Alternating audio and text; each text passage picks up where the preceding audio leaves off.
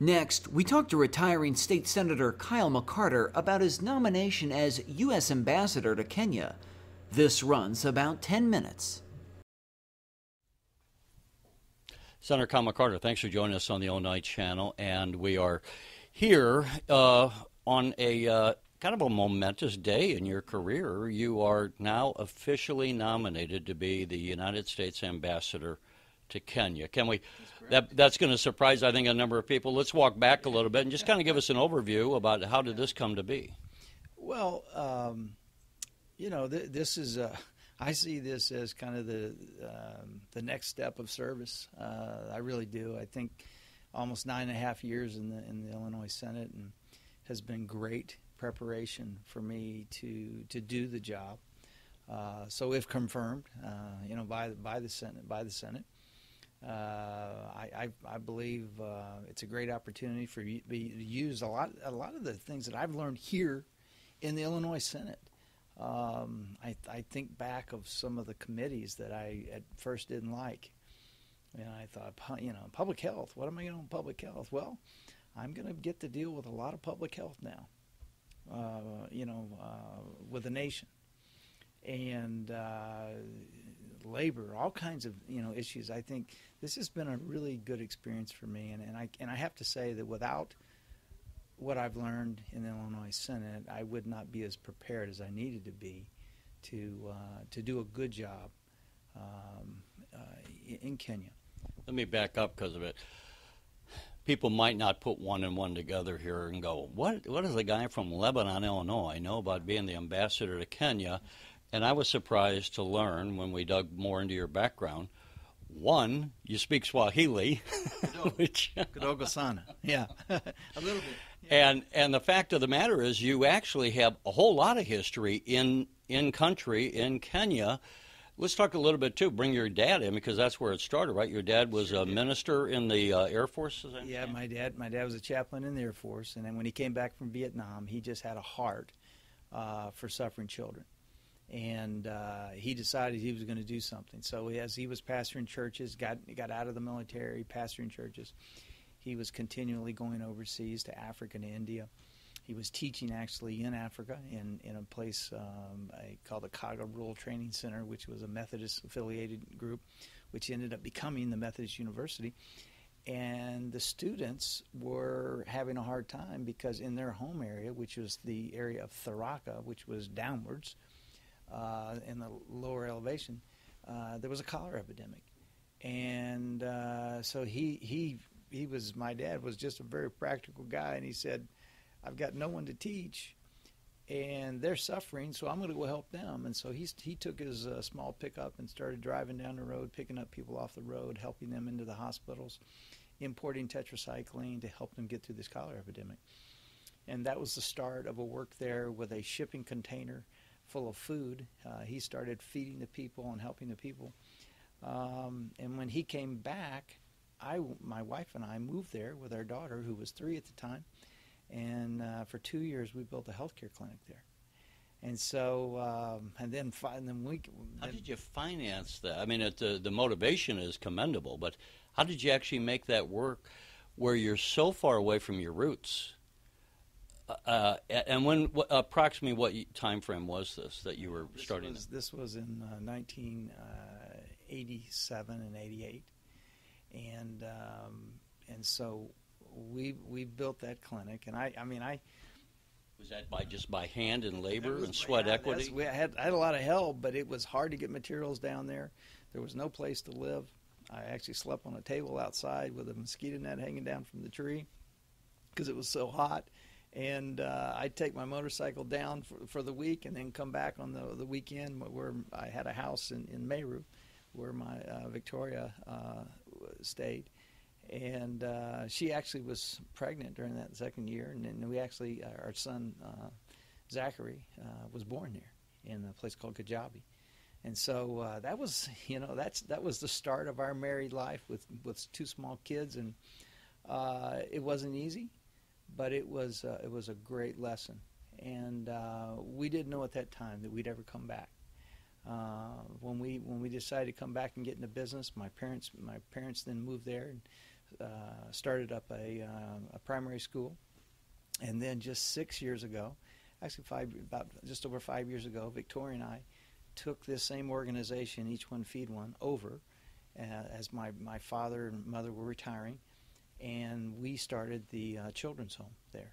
So there's about 43 kids now living there on campus, and that, that are either orphaned, abandoned, abused, and uh, so we. Uh, So just uh, this compound's what, 10 acres, I think? 10 acres, and we get another 10 acres uh, uh, aside from that that we've just that we've just purchased to to uh, house our older boys and, and, a, and, a, and a farm and a, and a vocational training center. So you have a healthcare clinic and a school. Yes. Uh, K through eight.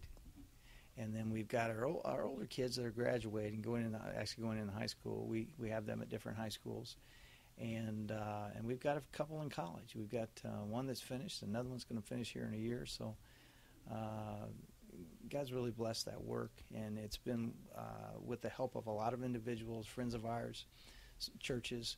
Uh, we've we've done so much with so little there, and. Um, uh, but now, you know, I've, I've got another opportunity, and that's uh, if, if confirmed to serve as, as the ambassador and do even more for for that country. You know, we, we love those people, and uh, I don't know how many people would, ambassadors or people nominated, would have that much. Uh, you know, they might be professionals in the State Department, but they don't have the history, let's say, in country necessarily. I, I want to just briefly, before we go, uh, touch base here. It started with your dad, as you mentioned. Now, sadly, your father just passed on, but uh, Just a couple tell us, did, ago. did you have the opportunity to tell him that you were being nominated? yeah, you know, my dad had dementia, and so you know, every day is a, the good news is that every day is a good new day, right? And so um, my dad um, on a Thursday. I uh, I talked to him, and every time I talked to my dad on the phone, he'd say, "Son, I'm so glad to talk with you. You made my day." He was always so happy every time you talked to him. And uh, so I said, "Well, Dad, let me let me pray with you because I always prayed with him when I get off the phone call." And that was a Thursday. Now Friday morning, I heard uh, from uh, from Washington that uh, that the uh, letter of agrément had come back in from Kenya and that this is going to move forward. And I got to call my dad Friday morning and say, "Dad, this this this is going to happen," and he was so happy. And uh, I I was out of town. I flew back that Friday, Saturday morning, got up, and then heard that uh, my father passed away that morning. And so, uh, you know, I I saw that as a as a real, you know, him saying, "Okay, you got it. You carry this now. You do something even bigger than I did." And so, um, I accept that. I accept that challenge to his le- his legacy. Uh, it's an amazing story, and as I said, I, I doubt very many people who've been nominated, uh, particularly in, in our the nations of Africa, probably that we have people available on the bench with that kind of history that you bring to the table. Let's talk just uh, because time is always short, but uh, in your 10 years, it's been a tumultuous time in Illinois history. What would you say to people, I mean, uh, about your history here in the Illinois Senate uh, and that time period and the different governors and the different issues you've had to deal with? Yeah, I, I think this has been a tough 10 years um, for everybody. And, um, you know, I sure do. I, I had hoped I could have got more done. I do. Um, um, but I sure have learned a lot from it. Uh, I've, I've, I've been up a lot of, up against a lot of battles. Uh, I may have stopped a few bad things that, that wouldn't have been good for Illinois. I, I can't say that I've been successful at passing a lot of things uh, because being in the minority and even the super minority, it's been very difficult. And and I think this part the partisanship has has got to a point now that we it's got to stop.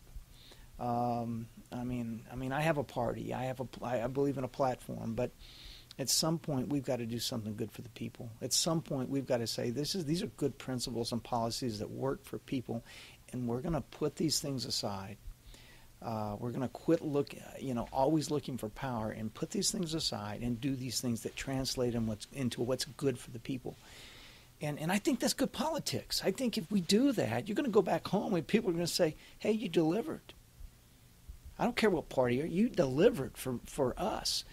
And so uh, I hope that's what uh, you know. I hope that happens in the future. I've tried my hardest to do that. I mean, I've I've tried not to come out as as uh, as a Republican. As I mean, I mean. I, I've tried to do what I think was in the best interest of the people, and I think if together we do that, I think we could get a lot more done. And uh, I, I mean, we because we've got to do something to take us away from bankruptcy, away from this dysfunctional way that Illinois government has been, you know, has gone gone about here in the last decade and, and beyond, and, be, and before that. So, uh, I I was just, in, I've, I've attempted to encourage my colleagues on both sides of the aisle. Let's just do something good for the people because that's good politics.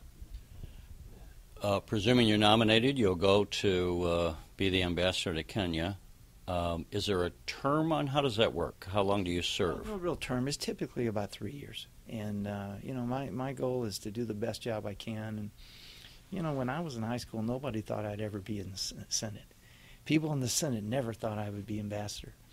And uh, but I just you know what I'm going to serve the people that I've been I've been given right in front of me. I'm going to serve them the best I can, do the best job I can, and at the end of that, uh, I, I, hope that uh, whoever is in charge, you know, whoever's in office, will believe that uh, I can do uh, I can do the job again. I have uh, often said to young people the age-old question, "What do you want to be when you grow up?" And I think the fascinating thing, and you illustrate it you don't have to be one thing. You've been a businessman, uh, a missionary, I would say, uh, yeah. a senator, and, and now you're going to be, uh, hopefully, if confirmed, the ambassador. Kyle McCarter, you're a shining example of some of the good people in Illinois politics. Thank you for joining us. Thank you for doing having me.